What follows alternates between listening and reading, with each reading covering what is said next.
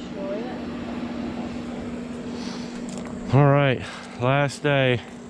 Chris is here. He's got a shiny new RZR he's driving. Yeah. Yeah. I'm in a rental. Please take care of it, Chris. I'll try. I will try not to be the star attraction. Charity might not like it if you uh if you do something bad to it. Who are we kidding? She wants a turquoise one. Just saying. No more no more insurance That- claims. that's why she so readily agreed to this.